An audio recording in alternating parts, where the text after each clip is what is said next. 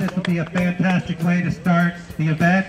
We're uh, pairing up our juniors and the first tee kids to uh, spend some time on the range, on the practice putting green, and on hole number three, we're going to do some chipping.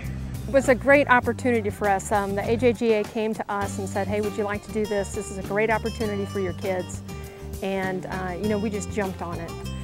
Most important thing is, you know, alignment and posture.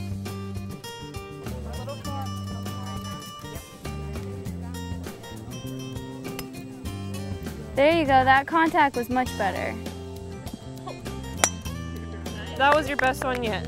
I've been in first tee of the triad since I was six, turning seven. They're definitely a big role model for me and trying to follow in their footsteps.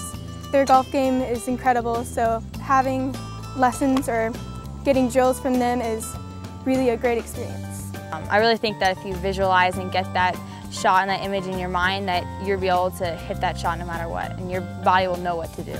And feel like there's just a dollar bill under here and you just gotta swoop it out and then finish to the hole.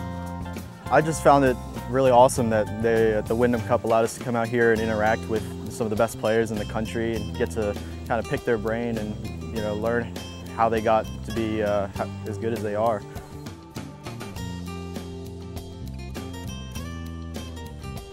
I think it's almost like a star-studded event. I mean, I don't know if whether you're their peer age or, you know, we've got a 10-year-old out here who I know is looking up to everybody, but um, I think rather, you know, whether you're 10 or you're 18, you know, you're looking at these kids and you're thinking, wow, this is something special. That's so good. It's definitely a game that can be in your life for a really long time and it's probably the best game out there.